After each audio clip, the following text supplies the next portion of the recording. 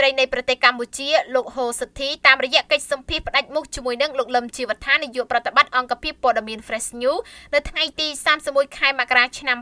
2019បានប្រកាសទាត់ចោលនៅសេចក្តីណែនាំคล้ายៗមួយដែលផ្សព្វផ្សាយនៅលើសារព័ត៌មាននិងបណ្ដាញទំនាក់ទំនងសង្គមអំពីការកំណត់ឲ្យមានក្រសួងសំខាន់សំខាន់តែ5ប៉ុណ្ណោះអាចបញ្ជូនឯកសារត្រង់ទៅកាន់នាយករដ្ឋមន្ត្រី លោកហូសធីបានបញ្ជាក់ថាលិខិតដែលហៅថាសក្តីណែនាំនោះគឺជាលិខិតคล้ายคล้ายសុទ្ធសាធមិនមែនជាលិខិតខុទ្ទកាល័យឡើយដែលត្រូវបានគេបន្លំคล้ายคล้ายជាលិខិតរបស់លោកជាមួយគ្នានោះនាយកខុទ្ទកាល័យសម្ដេចតេជោហ៊ុនសែនក៏បានបង្ហាញអំពីតម្រុយជាច្រើនដែលបង្ហាញថាលិខិតនោះគឺជាលិខិតคล้ายคล้าย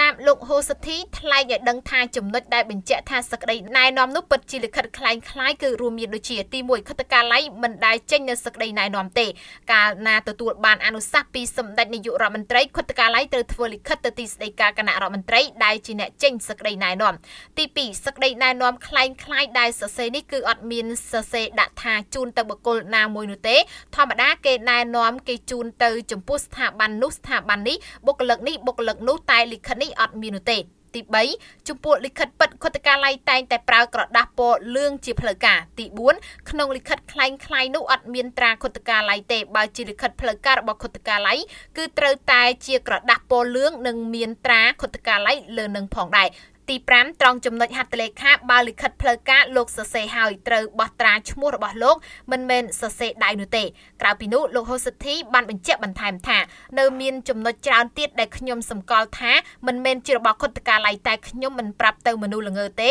ទុកឲ្យមនុស្សនោះចាស់ស្លាប់ទាំងល្ងើទៅចោះការព្យាយាមធ្វើបន្លំរបស់ក្រុមខ្លែងខ្លាយនេះគឺមិនមែនជាលើកទី1នោះទេគឺធ្វើច្រើនដងរួចទៅហើយសូមបញ្ជាក់ផងដែរថានៅពេលថ្មីថ្មីនេះមានការចែកចាយនៅសក្តីណែនាំខ្លែងខ្លាយមួយដោយចោទថាជារបស់គុតកាល័យសម្ដេចតេជោហ៊ុនសែនបណ្ដាឲ្យមានការភ័ន្តច្រឡំទៅដល់សាធារណជននិងប្រជាពលរដ្ឋអ្នកតាមដានព័ត៌មាន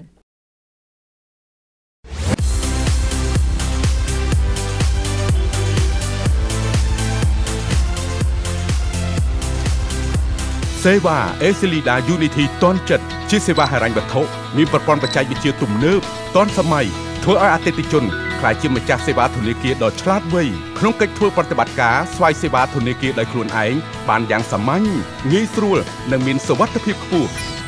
ប្រើប្រាស់សេវា Excelida Unity ទាន់ចិត្តលោកអ្នកចំណេញពេលវេលាកាត់បន្ថយចំណាយពេលធ្វើប្រតិបត្តិការទូទាត់ថ្លៃទំនិញសេវាកម្មផ្សេងផ្សេងតាមរយៈទូរស័ព្ទចល័តតខ្លួនរបស់លោកអ្នក scan ជាមួយ QR code ដែលមានដាក់តាំងនៅទីផ្សារនិងហាងទំនិញនានាជាច្រើនកន្លែងយ៉ាងរហ័សទាន់ចិត្តបានគ្រប់ពេលវេលាដោយមិនចាំបាច់ចំណាយពេលរងចាំរាប់ប្រាក់អាប់ប្រាក់ព្រួយបារម្ភពីការបាត់បង់ប្រាក់ឬប្រឈមមុខនឹងក្រដាស់ប្រាក់คล้ายៗ ប្រជាធនាគារដែលលោកអ្នកជឿទុកចិត្ត